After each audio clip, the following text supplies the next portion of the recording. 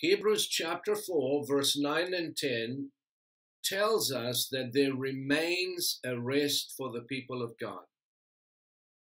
If you look it up in your own Bibles, you will see it. Hebrews 4, verse 9 and 10.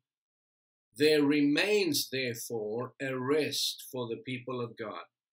For he who has entered into his rest, that is God's rest, has himself also ceased from his own works as God did from his.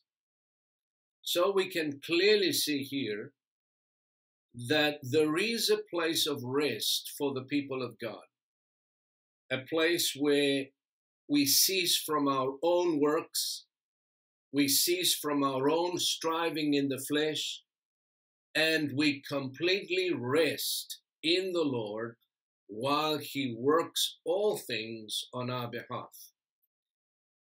Psalm 57 and verse 2 testifies to this fact. And this is what it says from the New King James Version. The psalmist said, I will cry out to God Most High, to God who performs all things for me.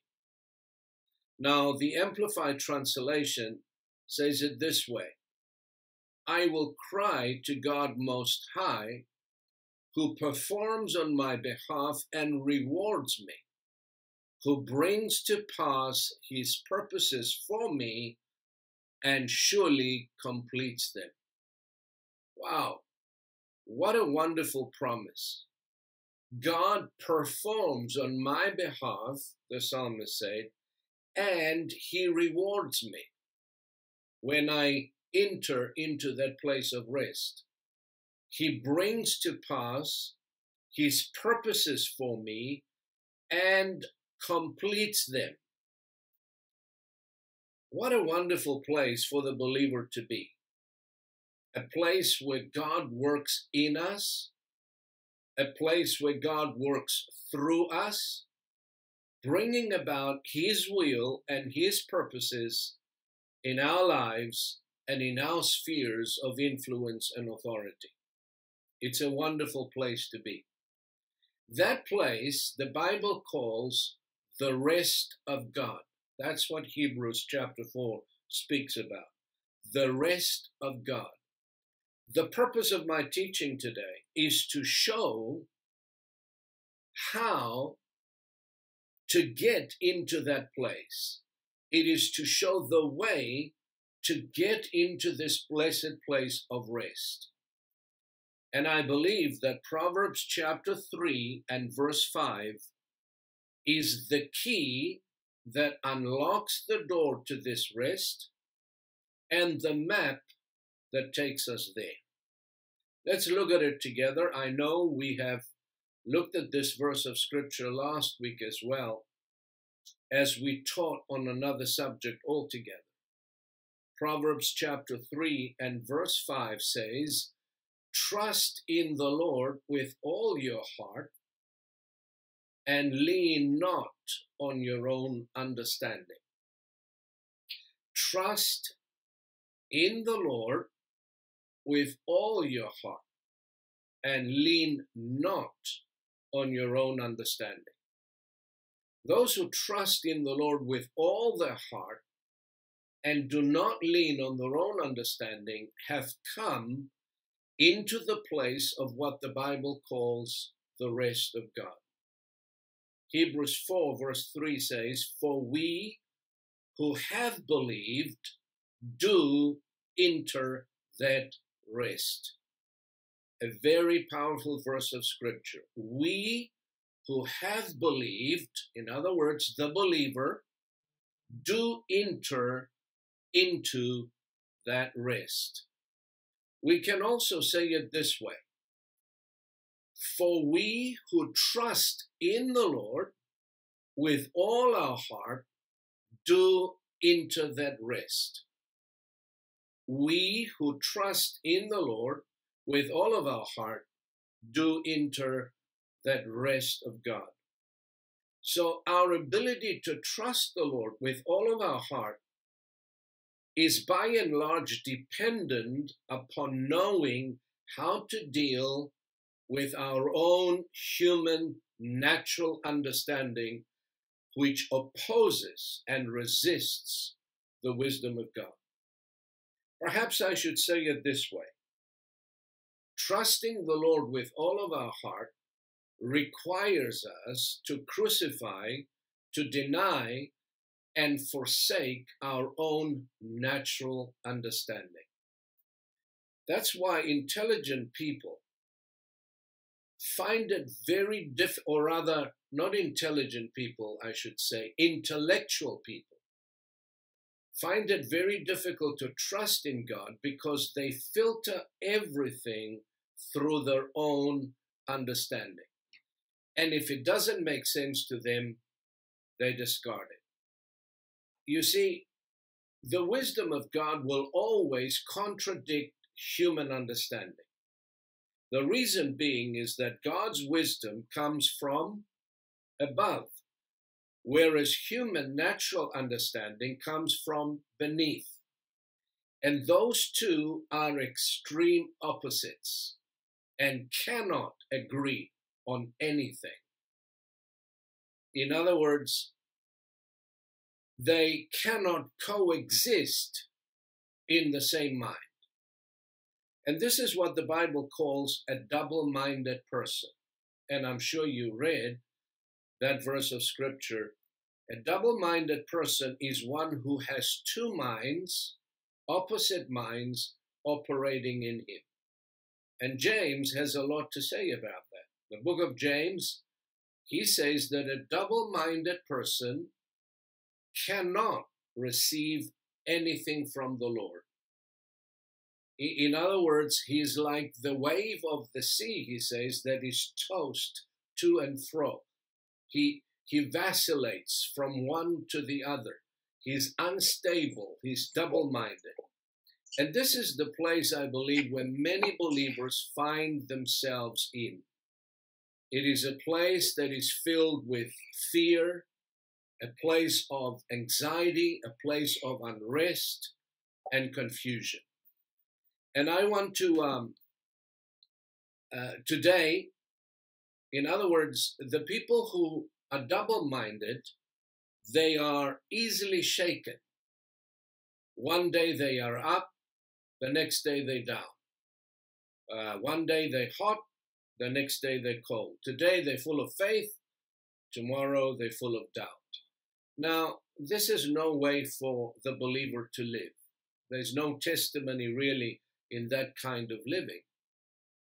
In order to win this battle of being double minded, we must give the Word of God the ascendancy over our natural understanding.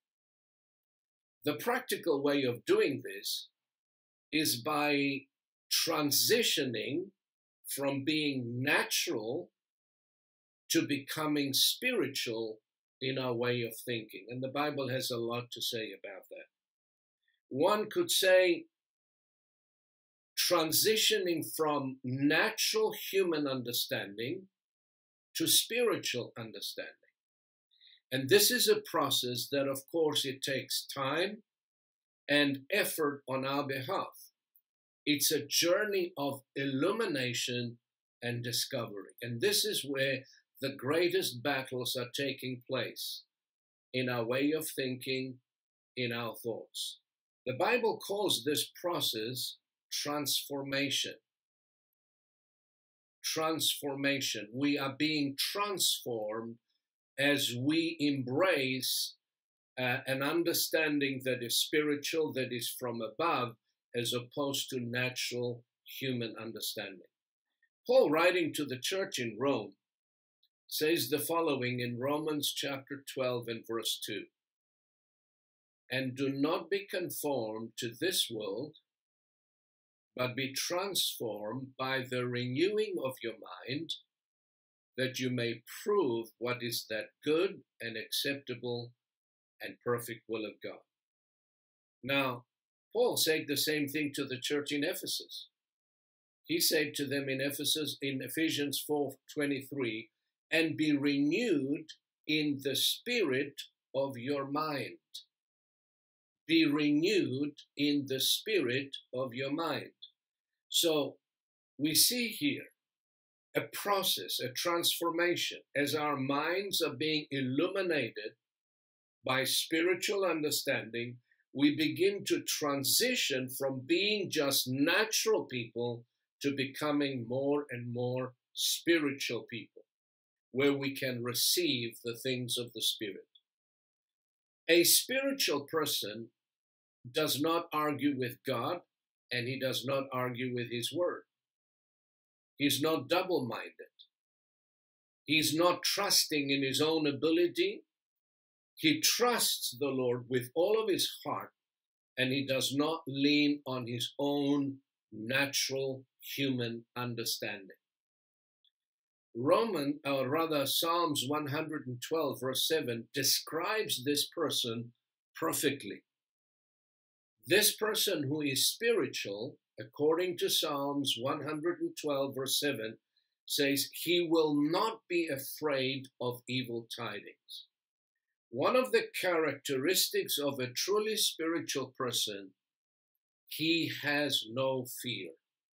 He will not allow fear dominate his way of thinking, his way of speaking, or his attitude. He will not be afraid of evil tidings. In other words, no matter what goes on around him in the world, in the circumstances that he finds himself in, he still he is not afraid. His heart is trusting in the Lord. And the psalmist goes on to say, His heart is steadfast. There's no way we can have a steadfast heart without a spiritual mind. Are you listening to me? If you want your heart to be steadfast and stable, not being moved, not being afraid, we need to obtain a spiritual mind with spiritual understanding. His heart is steadfast, trusting in the Lord. His heart is established, and that's what we're talking about an established heart has come into the blessed rest of God. And then the psalmist repeats that he will not be afraid until he sees his desire upon his enemies. Notice how the Word of God describes this person who is spiritual. He says his heart is steadfast, his heart is established, trusting in the Lord. I believe the reason we are having such difficulty in fully trusting the Lord is because we are still governed by and large by our natural human understanding, as opposed to being governed or dominated by the mind of the Spirit. The Bible says there is the mind of the Spirit and there is the mind of the flesh. Those who mind the things of the flesh, the Bible calls carnal Christians. Those who mind the things of the Spirit, the Bible calls them spiritual Christians. Now, here is a wonderful thing though. We don't have to remain carnal Christians. We don't have to um, stay in the state where we find ourselves in, where we are being swayed by two minds.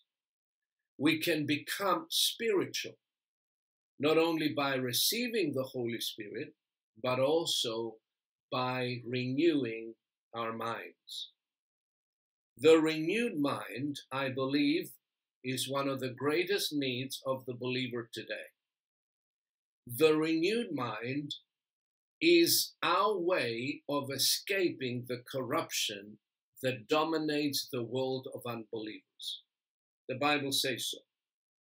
We escape the instruments of destruction that are running unchecked in the world because we think differently. We see things from God's perspective. In other words, we see things from above rather than seeing things from beneath. And we reason from a place of faith and trust in the Lord. The Bible does not forbid the believer to reason. In fact, God invites us in the book of Isaiah and says, Come and let us reason together, saith the Lord. We can reason, we can discuss things with the Lord, but we reason from a place of faith and from a place of trust in the Lord. An enlightened mind, for example, is the most priceless possession to obtain. Praise God. It is more precious, I believe, than fine gold or silver or any precious thing that you can imagine on this earth. And this is what Paul focuses and concentrates his prayer when he prays for the churches in his generation. If you study the prayers that Paul prayed for the church, his, his central theme or his focus when he intercedes and prays for the church is for the generation that he is talking to to pursue and obtain an enlightened mind, a mind that knows and understands God in all of his glory and in all of his splendor. Take, for instance, the prayer that Paul prayed in Ephesians chapter 1, beginning with verse 15. And this is a prayer that we can pray for ourselves, for our loved ones, for the church. And this is a prayer that we can pray it many, many times over because I believe it is a Holy Spirit inspired prayer. This is how he prays in Ephesians 1, verse 15. Therefore, I also, after I heard of your faith in the Lord Jesus and your love for all the saints, do not cease to give thanks for you, making mention of you in my prayers, that the God of our Lord Jesus Christ, the Father of glory, may give to you the spirit of wisdom and revelation in the knowledge of him, the eyes of your understanding being enlightened, that you may know what is the hope of his calling what are the riches of the glory of his inheritance in the saints? And what is the exceeding greatness of his power toward us who believe, according to the working of his mighty power, which he worked in Christ when he raised him from the dead and seated him at his right hand in the heavenly places? Let's break this down a little bit. Paul prays for the revelation of the Spirit to enlighten the eyes of our understanding so that we may come into the fullness of the knowledge of God, that we may get to know the Lord better. And then he goes on to say that we may discover God's inheritance in us, the hope that is attached to our calling, and the greatness of his power toward us who believe. You see, as the eyes of our understanding are enlightened, we no longer lean unto our own understanding because we're receiving spiritual understanding. Because we begin to see everything from God's perspective rather than from a human perspective. And again, Paul continues to pray the same prayer, the same thing for the church in Colossae. This is what he prays in Colossians chapter 1 verse 9. For this reason we also since the day we heard it do not cease to pray for you and to ask that you may be filled with the knowledge of his will in all wisdom and spiritual understanding. Notice, he's asking for spiritual understanding, that you may walk worthy of the Lord, fully pleasing Him, being fruitful in every good work, and increasing in the knowledge of God, strengthened with all might, according to His glorious power, for all patience and long suffering with joy. He asks the Lord to fill the church with wisdom and spiritual understanding. You see, he, he doesn't waste his time praying for so many other things that we so often pray. Because if we come to that place where our minds are enlightened with spiritual understanding, he says that we will walk in the center of God's will. We will have everything else. We can clearly see here that there are two types of understanding one is spiritual, and the other one is natural or carnal. One is from above, the other is from beneath. And Paul is asking God to fill the church with spiritual understanding. And then he goes on to list the benefits of this type of understanding. He says, he reveals to us that spiritual understanding enables the believer to walk worthy of the Lord and to fully please Him. No one can fully please God unless he is enlightened in his way of thinking. No one can walk worthy of the Lord until he comes to a place where the eyes of his understanding are being enlightened or illuminated. It also enables us, he says, to bring forth fruit in every good work that we do. Fruit derives from having an understanding that knows God, that knows His will, that knows His purpose for our lives. And furthermore, he says, spiritual understanding will strengthen us in our inner man, making us patient and long suffering and joyful. Wow, what a blessing.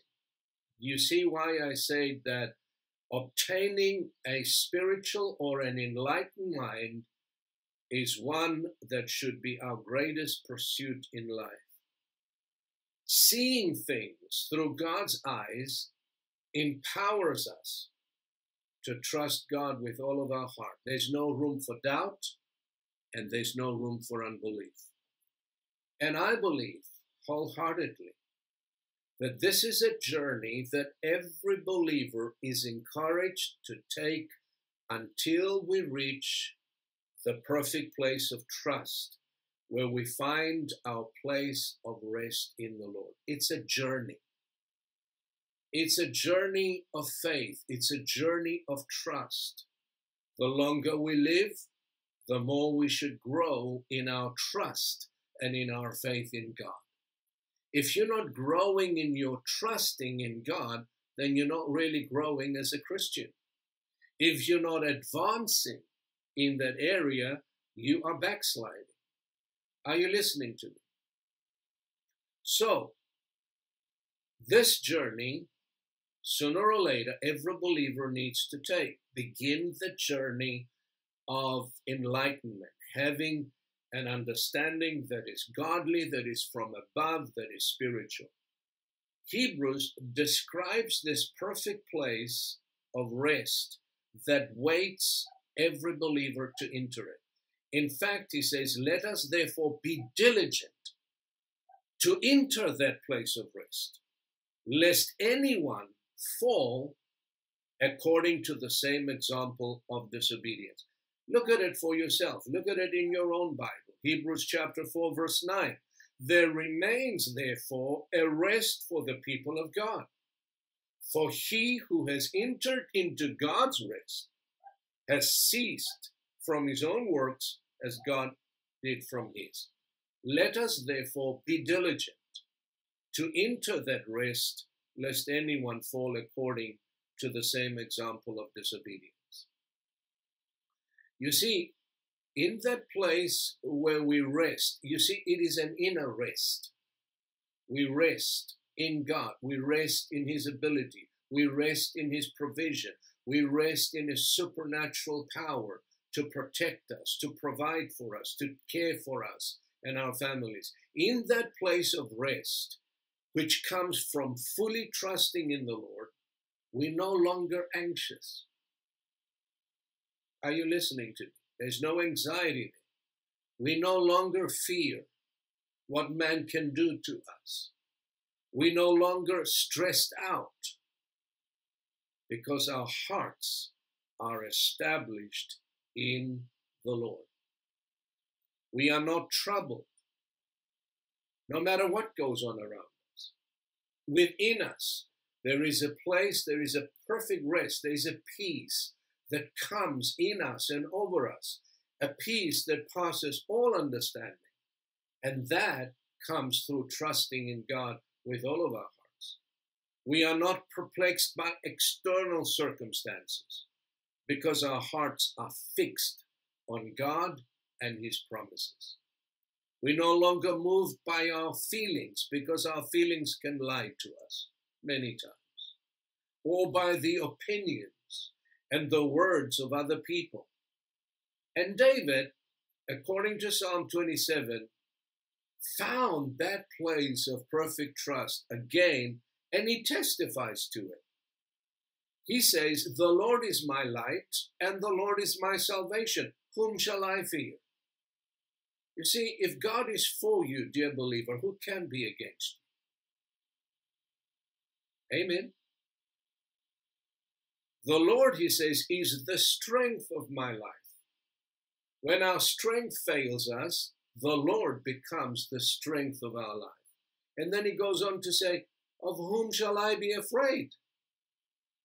When the wicked come against me to eat up my flesh, my enemies and my foes, they stumbled and fell. And then he goes on to say, Though an army may encamp against me, my heart shall not fear. What a testimony the psalmist has. You see, David's testimony is the fact that no matter what goes on in his life, no matter what enemies he faces, he says, My heart will not fear, my heart will not be anxious, my heart will not stress, my mind is at peace, my heart is at peace. I am resting in the Lord. You see, he has found the place of complete freedom from fear, from anxiety, from worry. You see, fear causes people to worry. Fear causes people to stress. And fear imagines and expects the worst. But perfect love, the Bible says, casts out all fear from our lives. And that's the way God wants every one of his children to live, folks, free from fear. Leaning to our own understanding will give us many reasons to fear because it relies not on God, but it relies on our own human abilities. It reasons from man's point of view and tries to figure things out without God's intervention or help. How many times have we either gone to bed or sat down and our mind was going wild on us, trying to figure a solution out? And we reason and we and we try everything and we scheme and all of that and it comes to nothing. Why not put it in God's hands and say, Lord, I trust you. You're my provider. You're my helper. You're my strength.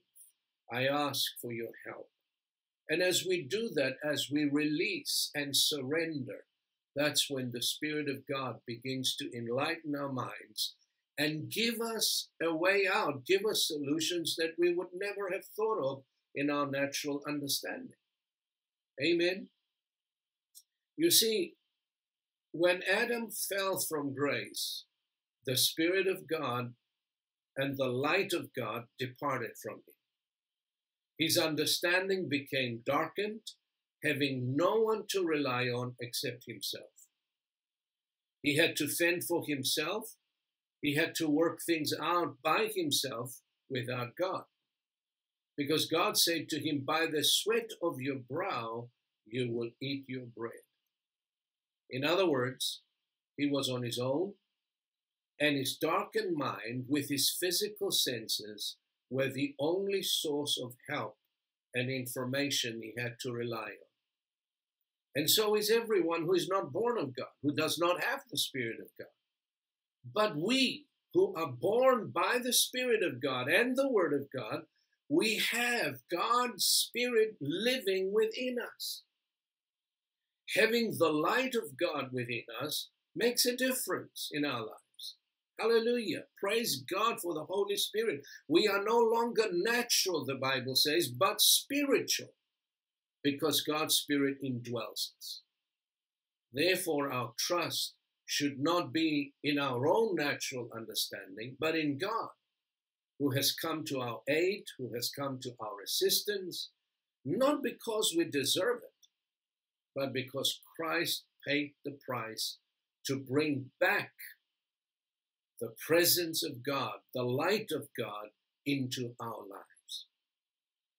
The disobedience of Adam, the Bible says, kicked us out of the rest of God, out of the presence of God, out of the garden of God. But the obedience of Christ placed us right back into the presence and into the rest of God. Amen. So, in order to remain there in that place of rest, we need to trust the Lord hourly, daily, with all of our heart, and not lean unto our own understanding.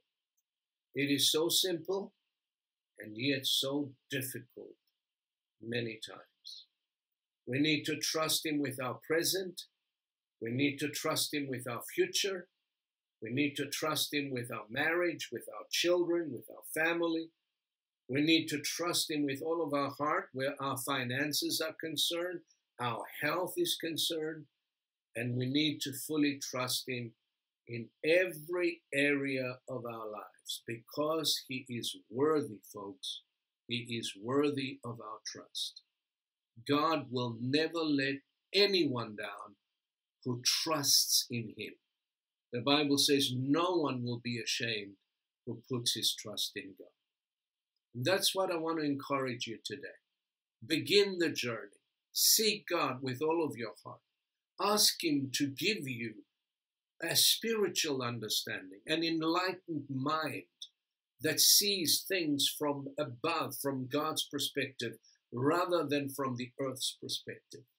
He is the only source of information that is true, that is holy, that is godly. The Bible says the wisdom that is from above is pure, first of all. It is full of mercy, it is full of good fruits.